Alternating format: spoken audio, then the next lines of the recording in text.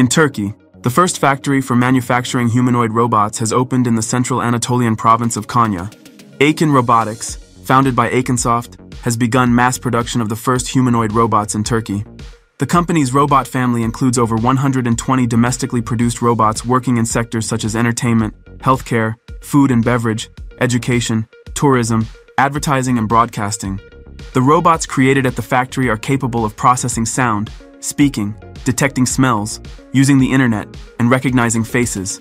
The chairman of the board of directors of Akinsoft spoke positively about the factory, construction of which was completed in just 1.5 years. These robots can perform tasks such as promoting products in shopping centers, distributing brochures at fairs, escorting at bus terminals or airports, and making sales in stores. These robots, which can even work as nurses in hospitals, are programmed to provide specific assistance to housewives. The company's service robots can autonomously move, charge themselves, pre-study table layouts, and escort customers to them. After adding speech recognition functionality, the robots can provide information about the services offered at each stage, including details such as which table to take the tray from. These robots are not only used in the service industry, such as cafes and restaurants, but have also begun to be deployed in factories for routine tasks and have the ability to perform similar tasks in some hospitals.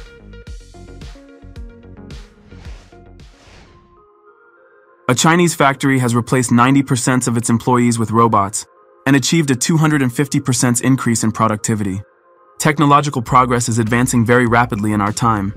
Among other areas where progress is strongly evident is industrial robotics. Specialists are creating new robots that in many cases are much more efficient than humans. One example is the replacement of workers at one of China's industrial enterprises in the city of Dongguan. Out of the 650 people working at the factory, the management left only 60, replacing the rest with robots. The remaining employees only perform maintenance work on their metal colleagues. In other words, the staff's responsibilities include ensuring the continuity of the production process. If any of the robots start to malfunction, they are quickly fixed. Robotic manipulators are stationed at every key assembly stage, each performing a limited set of operations. Even the vehicles used for cargo transportation operate autonomously at the factory. 60 personnel servicing the robots is quite a lot. On the other hand, the robots themselves are complex systems that require supervision. Everything is going smoothly now, so the factory manager is even considering reducing the staff from 60 to 20 people. The effect of replacing people with robots did not take long to manifest the factory's productivity immediately increased by 250%. Moreover, the number of defective parts sharply decreased from 25 to 5%. From a business perspective, the management made the right decision by replacing unskilled personnel, as a 25% defect rate is very high. Overall, in southern China, more than 1,500 enterprises are gradually replacing their employees with robots, and over time this trend is only intensifying. Understandably, those Chinese workers who lost their jobs due to robots are not very happy about what happened. Therefore, strikes and protests are regularly held in the region. However, these measures have not yielded results yet. Experts, on the other hand, predict that by 2025, approximately one third of the types of work performed by humans in enterprises will be done by robots, smart devices, and specialized software. This applies not only to China but to the entire world.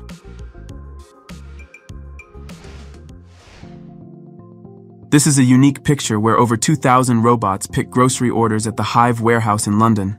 Here at the Ocado warehouse, covering an area of 52,300 square meters, more than 2,000 eight-wheeled, perfectly synchronized warehouse robots are deployed to pick orders.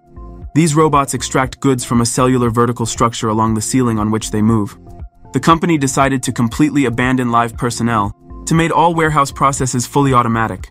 The robots move at speeds of up to 4 meters per second. Each robot operates for about 20 hours a day. There are about 50,000 different items in the warehouse. The robots deliver the goods to the picking station, where the delivered items are scanned by a human. The robots form a single large order in 10 minutes.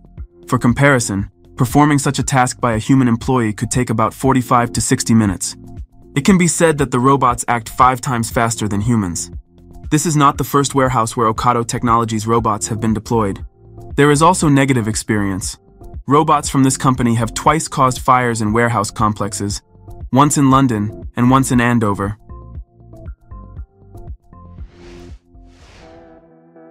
The Chinese company Alibaba has also decided to replace live personnel with robots.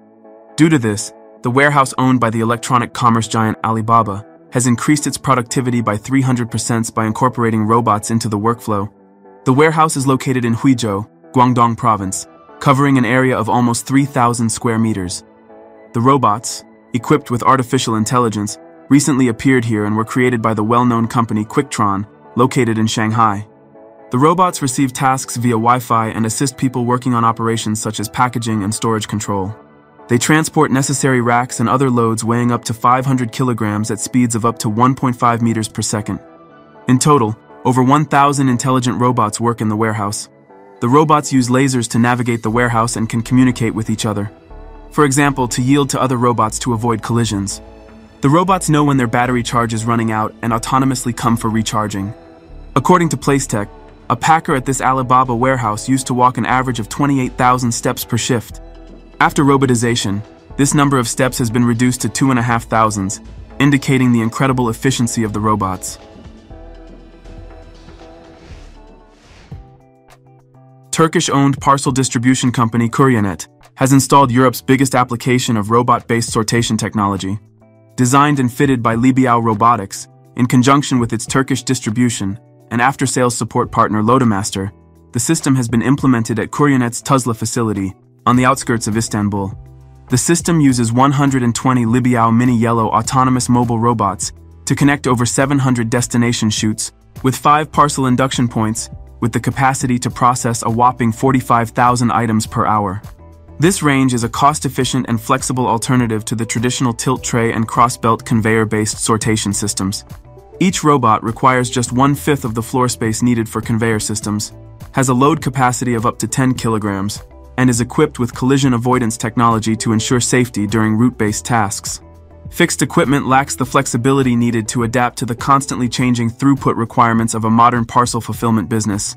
But by shifting from static cross-belt sorters to ultra-energy efficient and flexible AMR technology, warehouse operators are reinventing the way that parcel sortation works. There can be no doubt that robotic sorting systems are a game changer for the logistics sector. They are also good news for the environment. Write in the comments what you liked most after watching this video. Don't forget to like this video and subscribe to the Carros Show channel. Also check out our previous videos. See you next time.